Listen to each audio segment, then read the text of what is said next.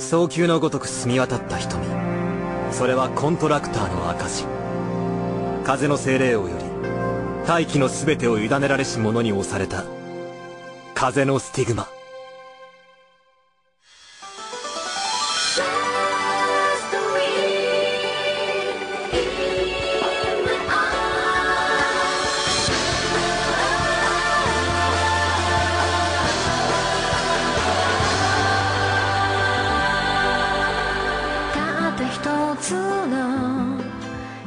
痛みが重くて走り出す感情暗闇をかける。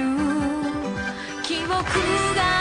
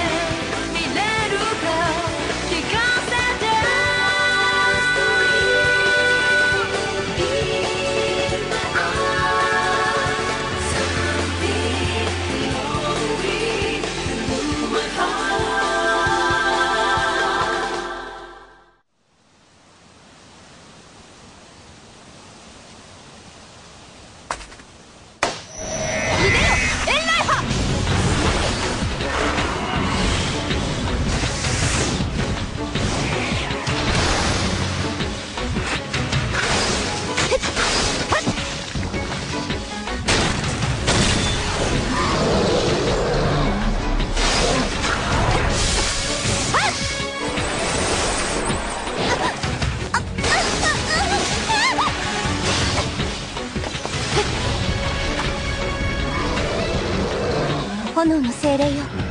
お願い。力を貸して。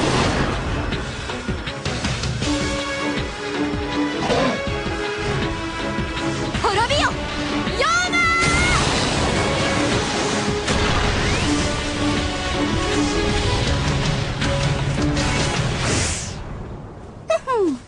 ー。ざっとこんなもんよ。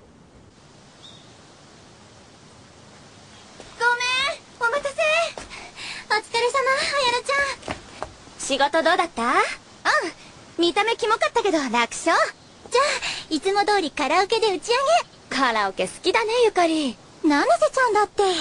カラオケもいいけどさ海も近いし潮風に吹かれに行ってみない？それいいかも。じゃあその後にカラオケってことで。潮風ね。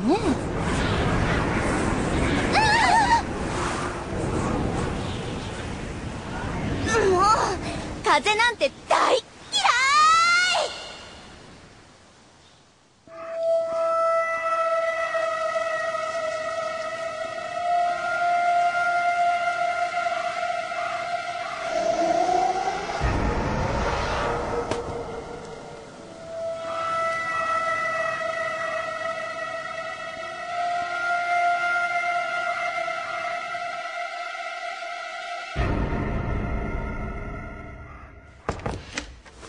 お待ちしておりました八神様。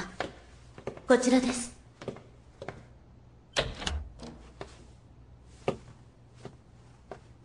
お前はカズマ。カズマじゃないか。なんでここに？そうか。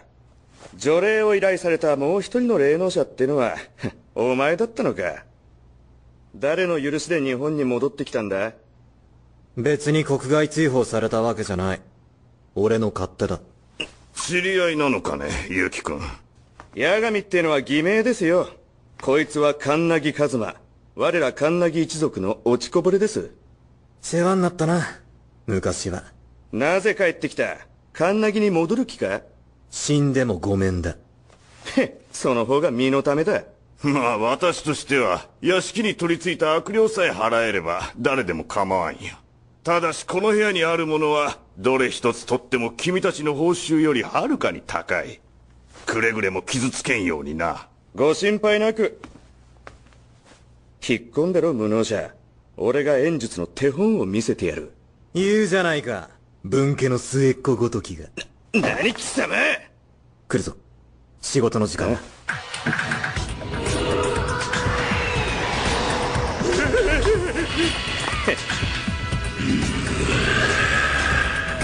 強めくたばれ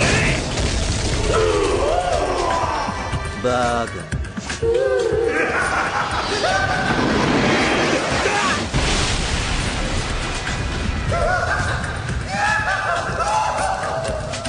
こいつは悪霊じゃない。妖魔だろ助けて助けてくれ。金は払う約束の倍出す随分安いんだなあんたの命。10倍いや50倍出しますから。お疲れ様。100倍。商談成立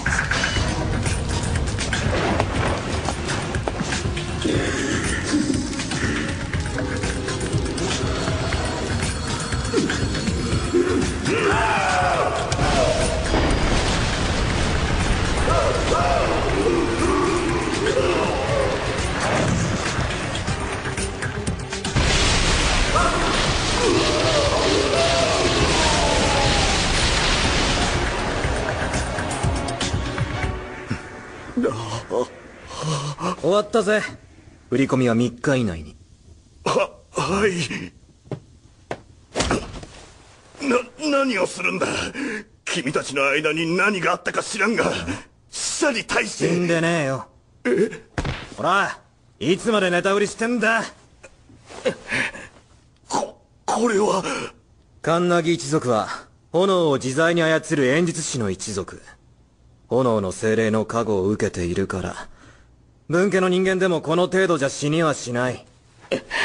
カズマおお前風邪を。もっとも俺は例外だがな。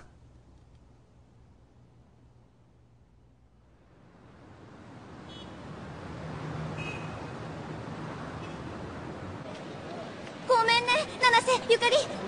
先行くバイバ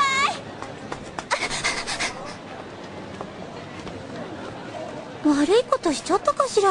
こんな遅くまで。まだあんま遅くないと思うけど。